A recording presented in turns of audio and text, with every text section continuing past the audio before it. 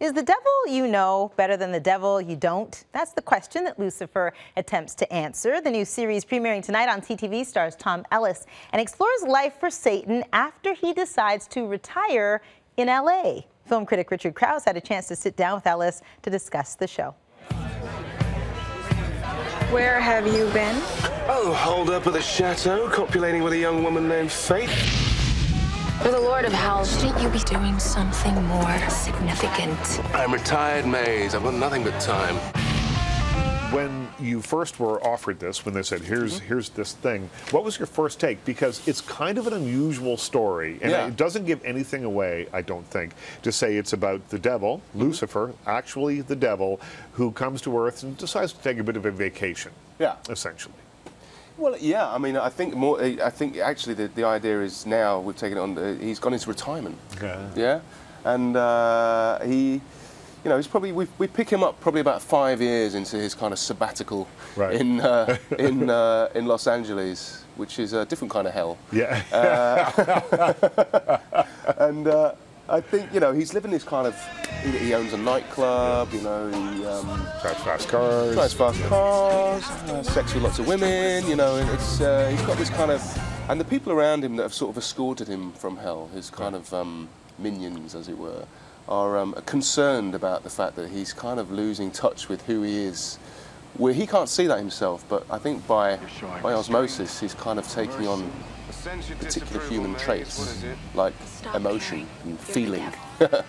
but he doesn't know that. He doesn't can't process what these things are. Um, and as we find through the first episode, you know, he um, he feels a sense of injustice about uh, the death of a, of a, a, a, I suppose she's like a protege of his. Yeah. Um, and uh, takes it upon himself, given that he believes that the LAPD are not going to investigate this crime properly. He's like, well, I'm going to do it then and um, I'm going to punish the person responsible yeah, yeah. because he likes to punish people. That's what he's good at. Um, and you know, we go on this. Uh, he goes on this journey, and then uh, a police detective is kind of her suspicions have been raised that this may be not such an open and shut case as was suggested, and um, they end up indirectly teaming up together and finding the killer. Well, I think it's also kind of important to note here that the show's funnier than you think that it might be. I think. I mean, I have to say when I when I was given the script, um, and I'd read quite a few scripts during the whole um, pilot season right. process, this was head and shoulders the funniest script that yeah. I read. And I, I, was, you know, I, was, I remember sitting at JFK Airport and pulling. I'd, I'd, just been for a meeting in New York and I was a bit tired and worn out, and I kind of was like, right, I better get onto the next script. So I pulled this script out and I started, and I was literally openly laughing yeah. in this airport lounge at this script, thinking, oh my gosh, this is brilliant. Uh, the, the take on this character and Tom Kapinos, um, who created Californication, right. wrote the pilot script for this. Um, and the way in which he created this character and the way that this um, character spoke, we just leapt off the page to me, you know, and, and, I kind of knew how instinctively how I would want to do it.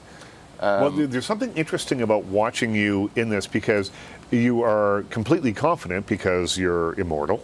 Yeah. So that takes away a lot of the risk factor. Stuff, yeah, right? it takes away a lot of stuff right off the table to begin with.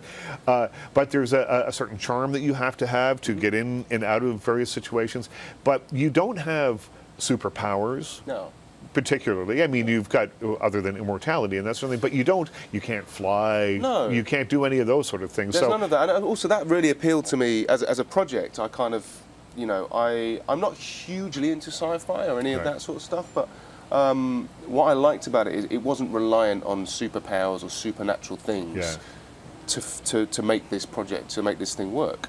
Um, he has the ability to draw out people's desires. Yeah. And that's what I love about it. It's kind of, he's basically saying, what is in you is in you. And I'm not making you do stuff, you know.